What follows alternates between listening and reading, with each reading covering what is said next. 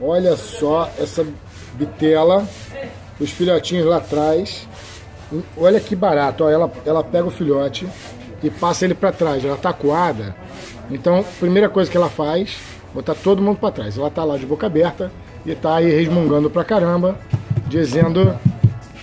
Tá tranquilo, tá vendo?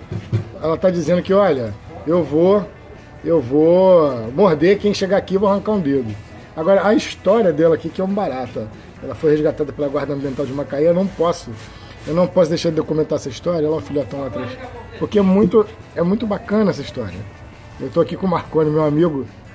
Marconi, vamos, vamos contar aqui um pouco da história, como é que foi, como é que foi o resgate, foi um resgate muito, muito interessante. Conta um pouquinho como é que foi esse resgate desse bicho. É, nós recebemos uma ligação do bombeiro é, solicitando apoio para o resgate da Navy. E quando a equipe chegou lá foi muito inusitado, né? Porque é, o animal estava dentro de um forno da churrasqueira. Forno a lenha. Forno a lenha, né? Tava no cantinho lá. E o, os agentes botaram a mão, botaram a luva, puxaram pelo rabo. Quando viram, tinha nove filhotes, né? No momento não deu para contar na hora.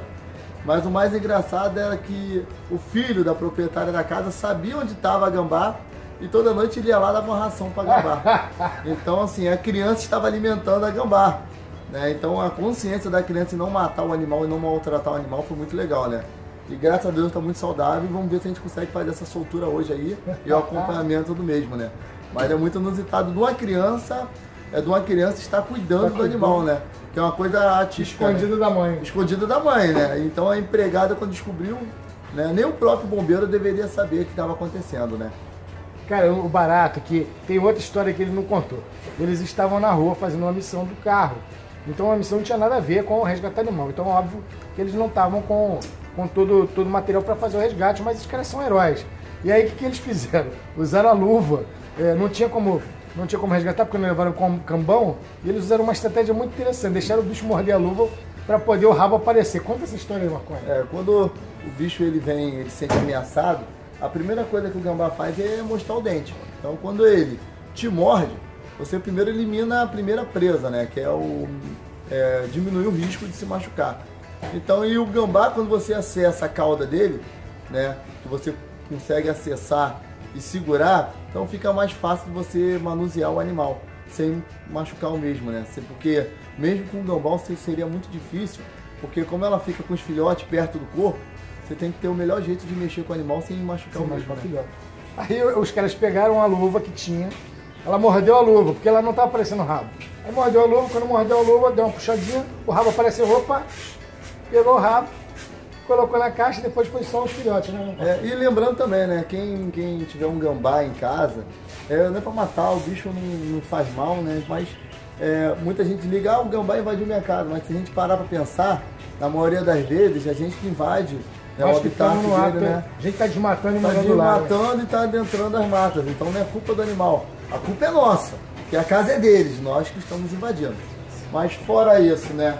Foi, foi uma coisa típica, uma coisa muito legal, porque na maioria das vezes é, as pessoas matam a fêmea, matam a mãe e os filhotes não conseguem chegar. A né? fase morre porque não dá para cuidar. Não dá para morrer, porque é um animal muito delicado de se cuidar. E, mas foi muito legal porque agora a gente vai conseguir devolver a mata, não só a mãe, como os nove filhotes, né? Então, essa foi bônus pra gente Parabéns aí. aí, mano. Olha só que barata aqui. Vamos, vamos filmar ela mais um pouquinho deixar ela menos estressada possível, mas dá uma aberturazinha pra mim. Olha lá, eu acho barato é que ela joga os filhotinhos lá pra trás, tá vendo? Tá todo mundo dormindo. Os filhotes estão pequenininhos, então, por exemplo, a pessoa foi lá e matou a fêmea. Se matou a fêmea, os filhotes vão ter muita dificuldade, a gente vai ter muita dificuldade de criar a, a, esses filhotes. Então vários vão morrer. Assim não, assim eles já vão desmamar. Tá lá, fica quietinho, todo mundo quietinho. Parece até que tá morto. Todo mundo atrás dela, eles estavam todos em cima dela. É um comportamento muito interessante. Ela pega eles e joga para trás dela e defende. Mãe, né? Mãe é mãe. Mãe é mãe, não adianta.